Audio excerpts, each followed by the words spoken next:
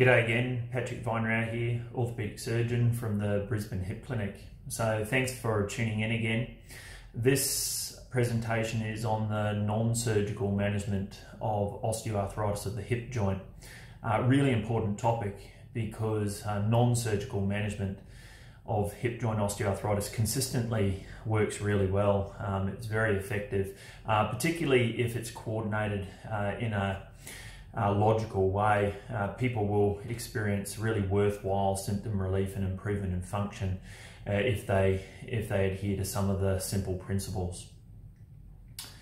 So um, when I see someone for the first time with osteoarthritis of the hip joint, um, generally one of the first discussions I'll have with them is about um, the differences between different management strategies. And broadly speaking, we break management of hip joint osteoarthritis into two main groups. That's the non-surgical group uh, and the surgical group.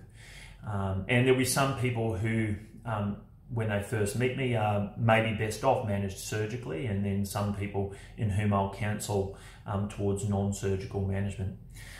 Um, so um, when we think about the two main groups of management, surgical or non-surgical, um, it's important to understand the objectives of what we're trying to achieve with each of those measures. So the objective of um, non-surgical treatment generally is the is to be able to manage the condition. It's as opposed to curing the condition. So the flavor of non-surgical treatment is um, generally most of the treatments are um, uh, fairly simple to apply. Um, they're very safe. Um, they're generally partly effective, and when you combine a number of strategies in combination, we tend to see um, that the results are better. Um, and um, they're um, generally pretty worthwhile in terms of reduction in pain. So, non surgical um, treatments generally can be broken into, I think anyway, probably best broken into three main groups.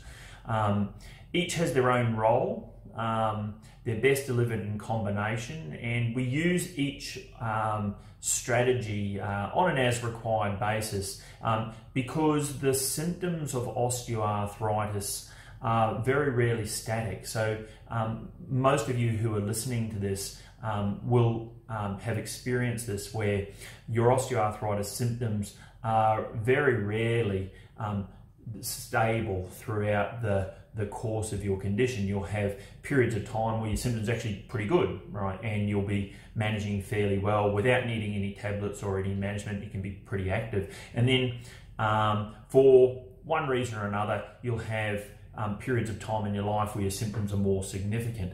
And so um, that's where having a, a, sort of a more flexible approach in terms of your non-surgical management is a, a, an important concept where you'll escalate your treatment according to how your symptoms are going at any one given point in time. So, for instance, uh, where you might be experiencing more symptoms because of an exacerbation of your condition related to, uh, say, for instance, some certain types of activities that you're performing, um, then that's where, if you want to be able to uh, reduce your symptoms, you'll start to escalate your treatments. So, non surgical treatment is generally fairly flexible in nature. Okay, so what are the three main groups? The three main groups are firstly um, exercise, prescription, uh, physical therapies, and conditioning. The second uh, group is long acting pharmaceutical injectable therapies, is the second group. Um, and the third group is oral tablet pharmaceuticals. So they're the three main groups of um, non surgical therapies that's exercise prescription with physical therapies and conditioning, injectable therapies, and tablet pharmaceuticals. Okay, so um, what's the role for uh, exercise prescription? Um, so um, exercise prescription can be delivered um, by a number of different um, health practitioners. Um, so it depends on what you need most. and so, so the, the um, types of advice that you'll get with physical therapies will be things like um, lifestyle and fitness advice.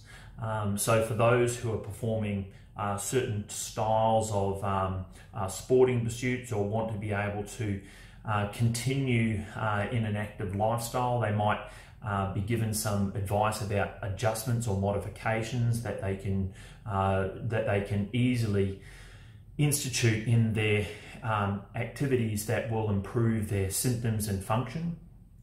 Um, uh, the um, other domain of exercise prescription is strength and conditioning because often we would find people with osteoarthritis of the hip joint generally have um, um, compensated for this condition for a really long period of time and so they've probably um, drawn themselves into certain habits and postures, um, which may have some flow on effects in terms of, um, for instance, um, other conditions developing around the hip joint, like, for instance, bursitis or tendonitis conditions around the hip joint due to changes in their mechanical function.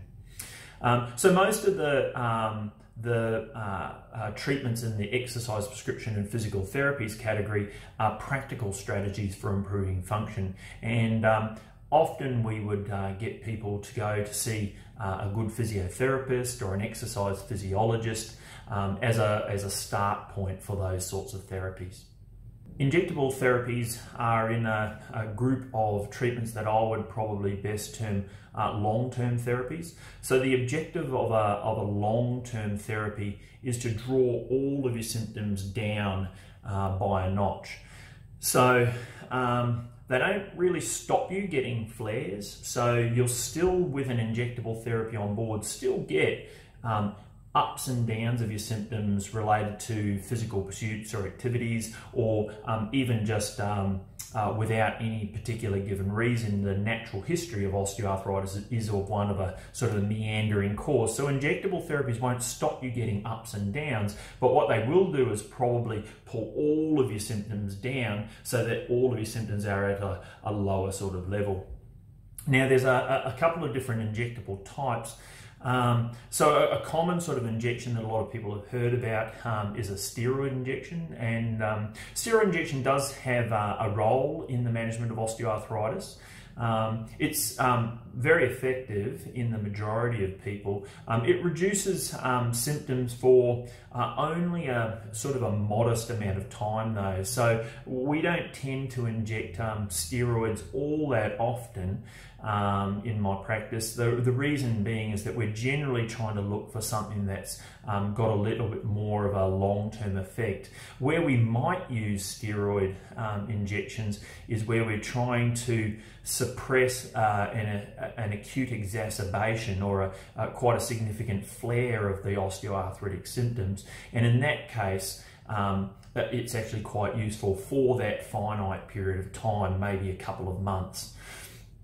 The uh, injectable therapy that we probably use the most uh, is what's called a visco supplement. So uh, a visco supplement is a, is a medication um, which is uh, which is delivered directly into your hip joint and it stimulates um, the lining cells of the hip joint to make its own lubricant thicker. Um, probably give or take for around about a year. Um, and so most people um, respond with about a 30% reduction, maybe 40% reduction in symptoms um, for around about between six and 18 months. So um, that's a that's a sort of a quite a good long-term way of being able to pull your symptoms back. Um, the um, there's a number of different types of injectable therapies, and a lot of people have heard of uh, uh, some of the brand names like Synvisc. Um, there are a number of them on the market that are uh, fairly similar medications, and there's um, some advantages and disadvantages of each. Okay. Um, there are some other injectable therapies that are available. Um, for instance, uh, uh, PRP or platelet-rich plasma um, has started to become a little bit more popular. Um, we tend to use PRP more for the management of uh, tendon irritations. Um, there is some um, data looking at its use in uh, osteoarthritis, but at this stage it's relatively limited, so we, we, we don't use PRP all that often for hip joint osteoarthritis. So tablet pharmaceuticals are the uh, last thing that we need to talk about. Um, and um, tablet pharmaceuticals are probably broken into three groups. There's um, paracetamol products, um, there's anti-inflammatory medications like um, Nurofen or Voltaren or Mobic or Celebrex.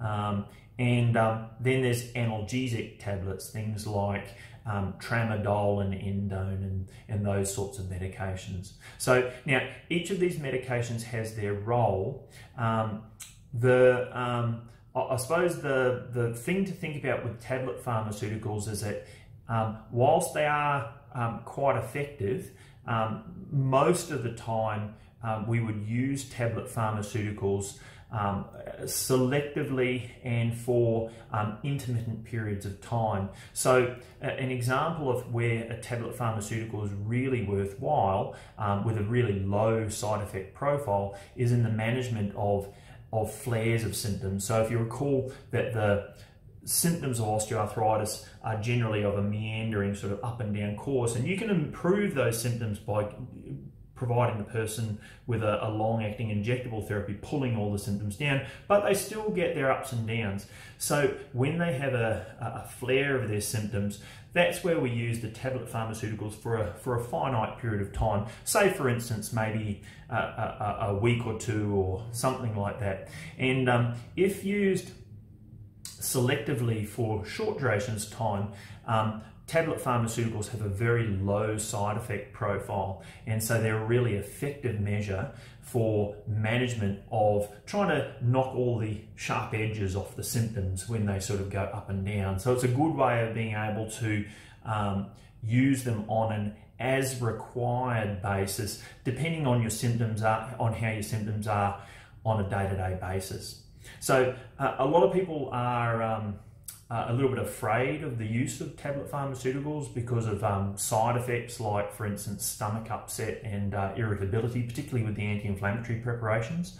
Um, and, um, and that's perfectly understandable. Um, um, what I would recommend is that whilst that is the that is a known side effect profile of some of the anti-inflammatory preparations, when they're used, however, in uh, a, a, strategic way for uh, very short durations of time, then, um, then those side effects are very seldomly seen. Um, so I think that you can use them quite skillfully uh, as a blended approach with your other non-surgical managements without fear of those side effects if you, if you abide by the, by the guidelines.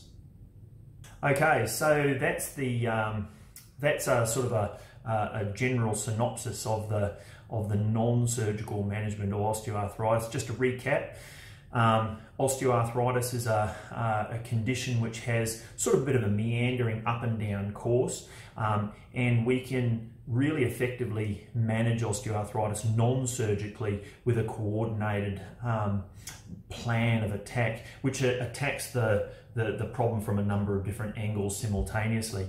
So generally the non-surgical management um, is comprised of exercise prescription, physical therapies and conditioning programs, long-acting injectable therapies to be able to reduce all of your symptoms down uh, by a notch, and then intermittent use of tablet pharmaceuticals for short-acting therapy for um, intermittent flare-ups.